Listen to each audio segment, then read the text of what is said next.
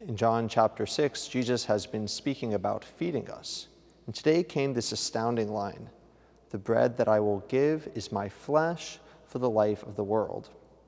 Understandably, his listeners are concerned about this, what it might possibly mean. But Jesus only doubles down.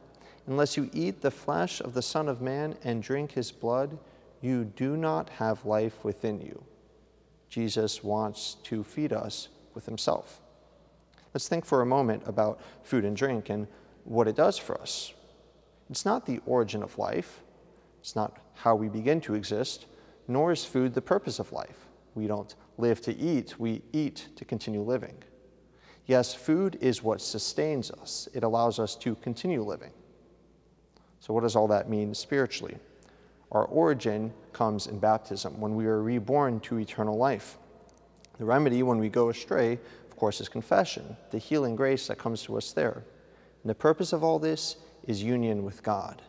But what sustains us in the journey, what keeps us going, is the food of eternal life, the body and blood of our Savior. Challenge this week is to make it to daily Mass.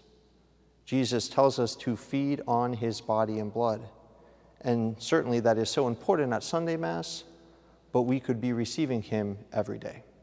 At least one day in the coming week, come to church for a daily Mass and receive the food of eternal life.